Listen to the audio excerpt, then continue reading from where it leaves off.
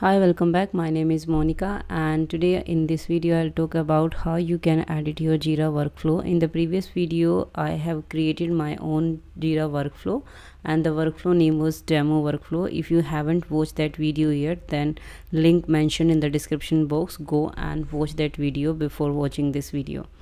Now we'll go to the inactive workflow because we have created a workflow but did not associate that workflow with any projects. That's why this status is in an inactive state. This is the workflow and now we will go and edit this workflow. I'll click on these three dots and click on edit and here we have this is a text mode and this is a diagram mode. You can choose whatever you will feel comfortable but the text mode is a modern way to edit the jira workflow the cool thing about the text mode is you can see the steps names and here are the linked statuses transitions and actions that we can perform with these steps.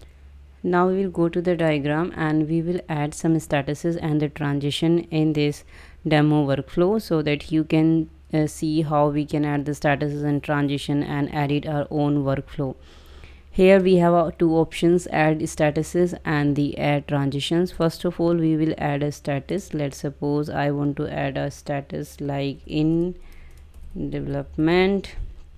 This is a new status i want to add and then i will click add. Here it is asking me about the category so it will be in progress and then i will hit the create this is my in development status. Let me make it to do to do to in progress to the in development. You can see there are the red dots around the in development status because there is a no transition with this status as of now.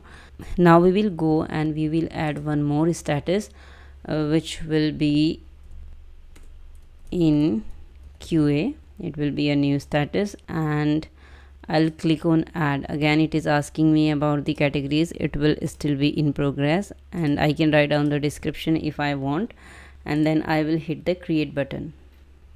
Now here we can see we have added the two statuses in development and in QA now I'm going to delete in progress and in review statuses. So I can click here and here I have options to remove the statuses. Remember you can remove the statuses when your workflow is in edit mode and in inactive state. But if your workflow is not in inactive state then you cannot remove the statuses. You can click on remove statuses and it is asking about the confirmation. Yes i want to delete the in progress as of now. I'll click on remove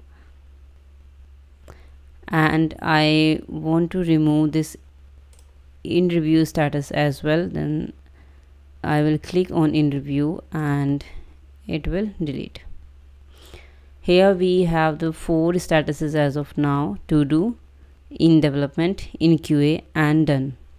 First of all like to do to in development in QA and done now I want to make a transition between to do to in development in development to in QA and in QA to done.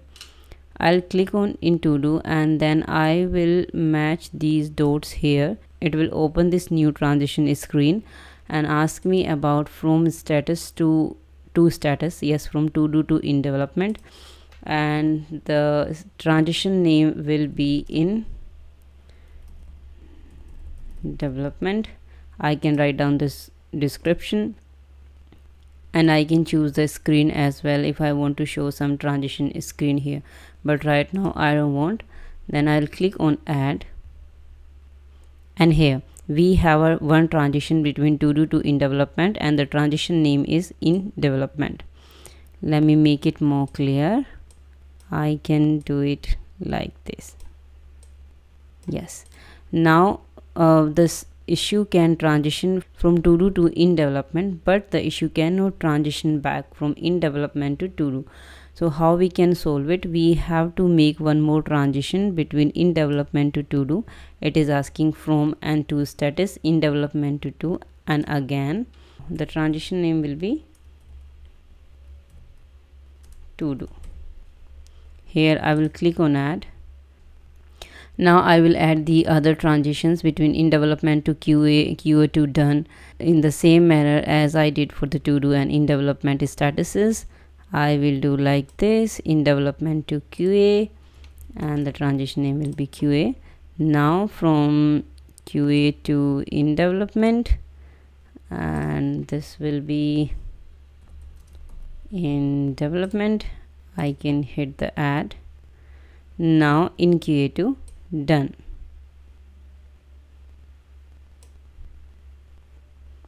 And the transition name will be done.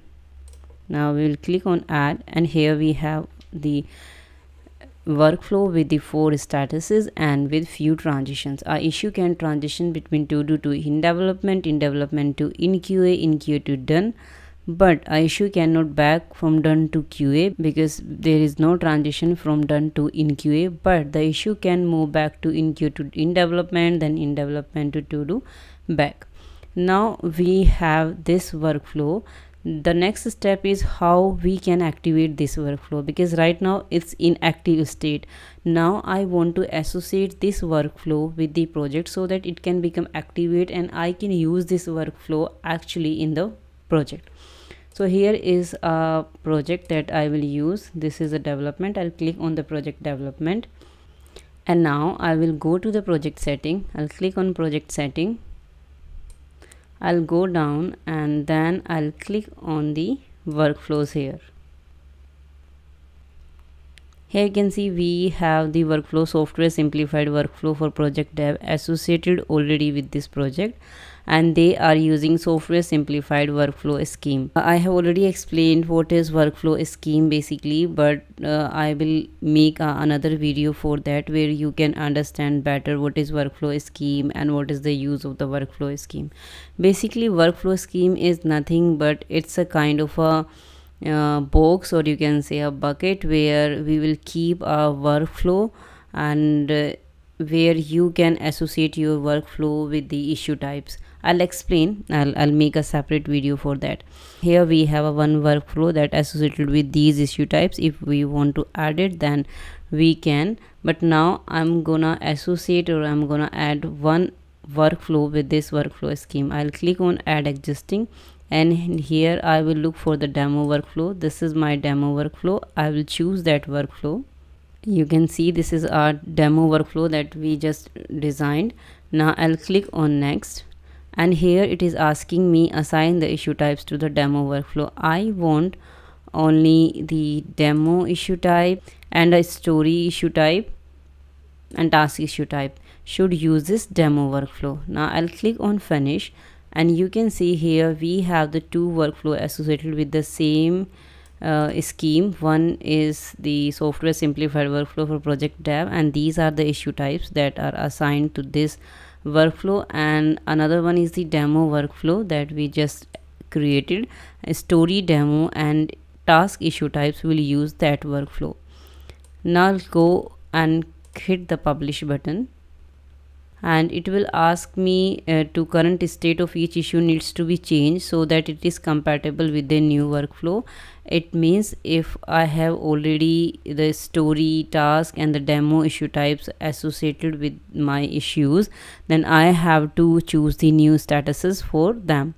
Let's suppose in progress development and task in development and in progress in development. It is just for the testing. I'm just telling you how you will map the current status with the new statuses. Now i'm gonna click on associate and it will take few seconds to update the workflow scheme according to the new workflow. And here we have to acknowledge that. I click on acknowledged